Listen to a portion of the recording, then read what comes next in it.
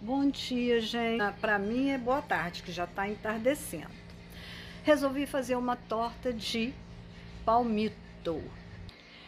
Uma torta que lembra minha infância, como aquela torta de amendoim que tem aí no canal. Então, aqui são os ingredientes da massa e aqui os ingredientes da do recheio. O leite morno vem para cá. Então vamos à massa. 500 gramas de trigo,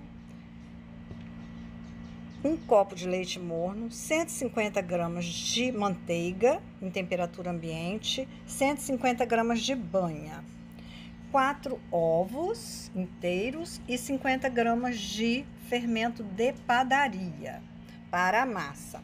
Mas antes de fazer a massa, nós vamos fazer o recheio.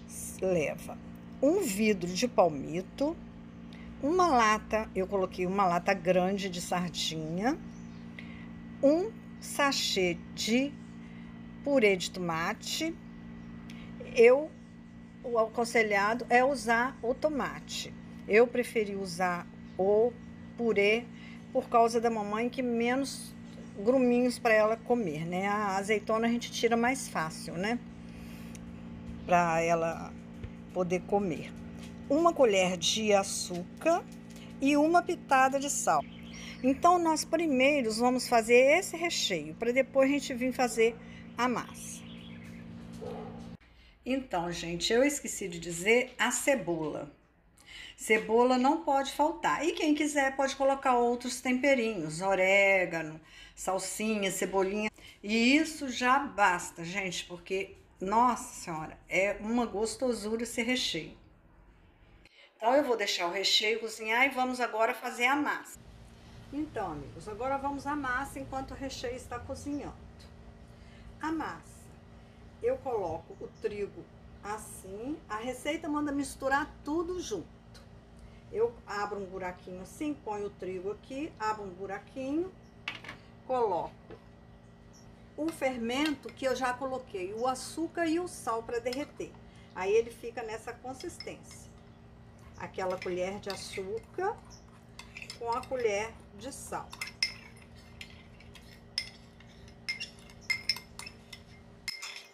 Eu nem estou vendo que a câmera está filmando, porque coloquei o tripé num lugar aí que não dá para eu enxergar o que, que eu estou gravando para vocês.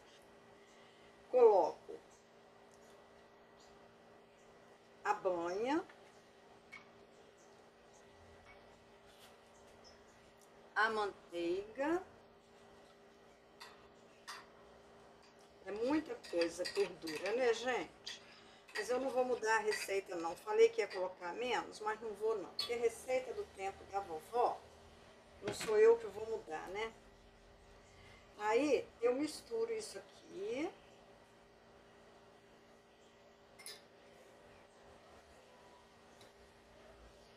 Porque o leite vai depender, a quantidade de leite, da textura da massa. Entendeu? Os ovos, eu tirei um, porque um é para pincelar a torta depois que ela tiver colocada na forminha, tá?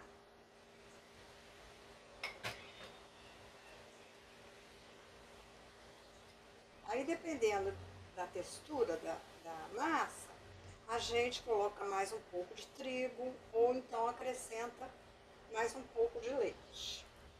Ela é bem molinha, sabe?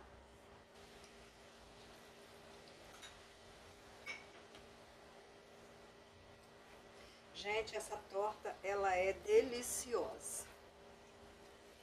Me lembra muito a minha infância, saudade, ah, saudade. Saudade não, não deve de ser uma palavra triste, né? Não deve ser, porque sempre tem os momentos bons para a gente agradecer, né? Então, se você sente saudade, é porque foi bom, né? Tudo que viveu. E aqui tudo é passageiro, né? Tudo passa. Nada, como dizem, não é fixo e nem permanente. Tudo passa, as tristezas passam e as alegrias também, e deixam saudades, que coisa boa, né? Aí, gente, ó, tá dura a massa, coloco mais leite.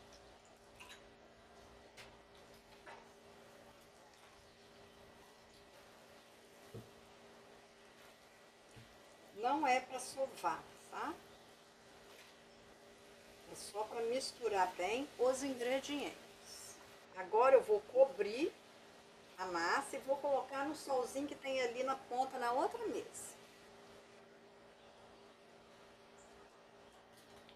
Vou cobrir e vou colocá-la num solzinho que tem aqui na outra mesa. Para vocês onde eu vou colocar. Ó, vou aproveitar esse solzinho para ver se a massa cresce, né? Agora eu vou pegar as forminhas para a gente preparar logo depois que tiver crescida a massa.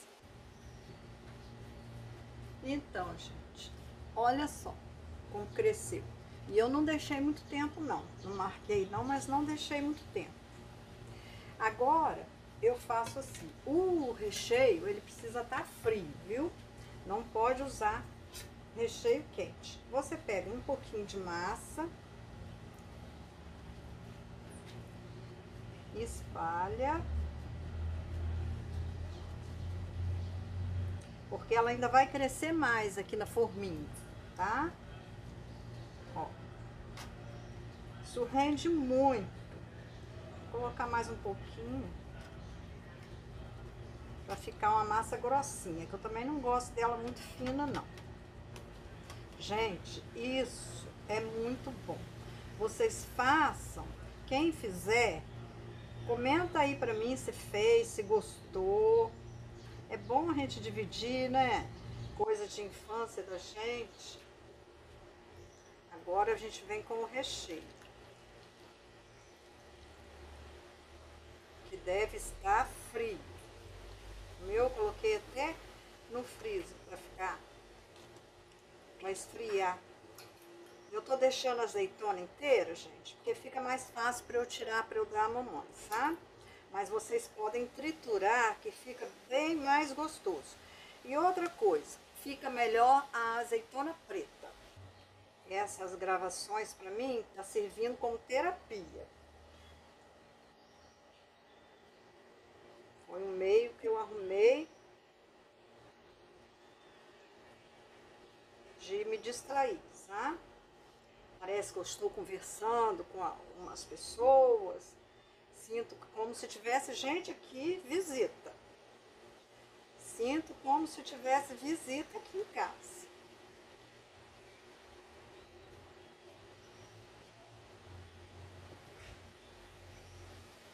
Agora nós vamos passar.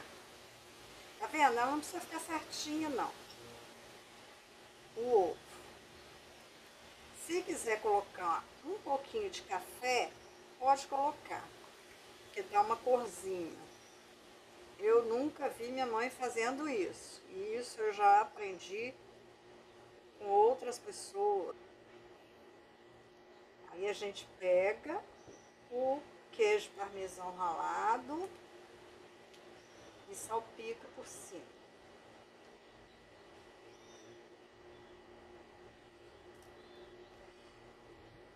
Isso aí, gente. Olha que face venda maravilhoso. Gente, se vocês fizerem essa torta, quem tem a intenção de vender e oferecer e conseguir vender a primeira vez, não vai parar de vender mais, porque é muito gostosa essa torta. Bem, isso é um lanche da tarde maravilhoso. Quem faz faculdade, levar um lanchinho, vender entre os colegas, né? É isso aí, gente. Isso que eu queria compartilhar hoje com vocês.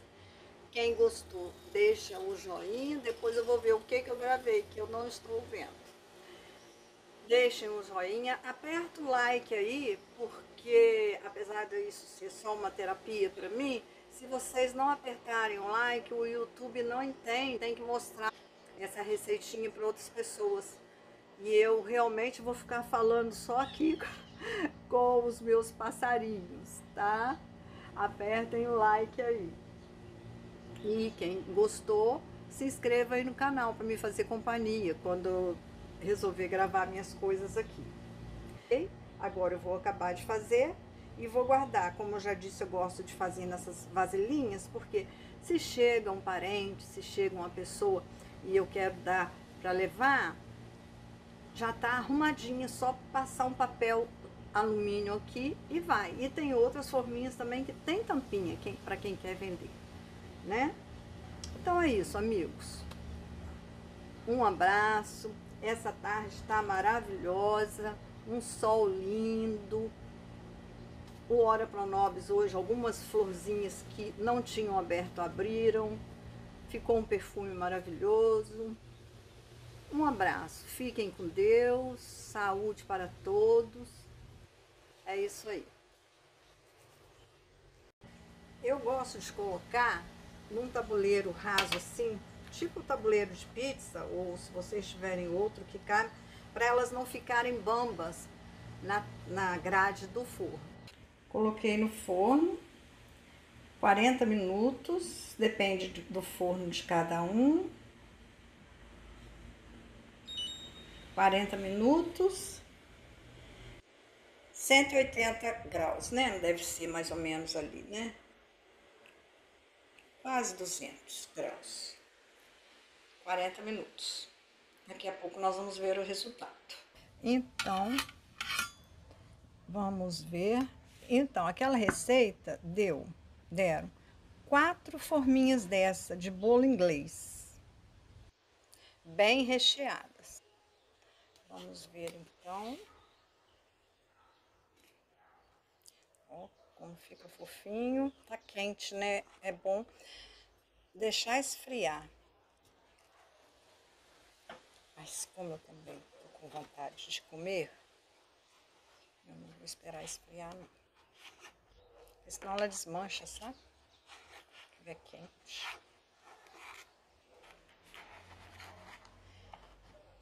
Isso aí. Olha. Virar pro sol.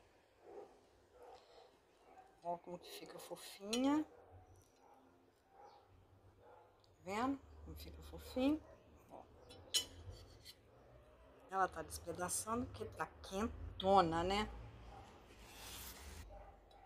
Ó, que delícia. A casquinha fica durinha. E lá dentro fica bem molinho. Façam aí, amigos. Me contam. Que, que vocês acharam?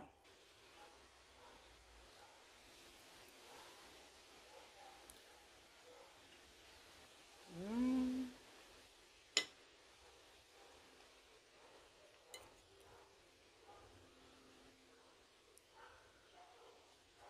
Estão servidos? Muito bom.